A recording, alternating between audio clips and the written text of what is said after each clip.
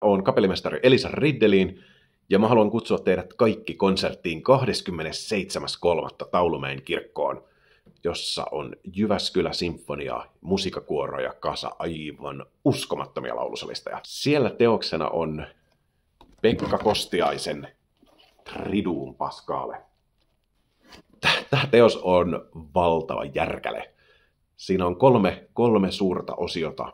Kiirastorstain messu, pitkän perjantain passio ja pääsiäismessu. Mä voin sanoa, että tätä parempaa, parempaa tiputusta pääsiäisen viettoon ei voi löytää, joten nähdään siellä.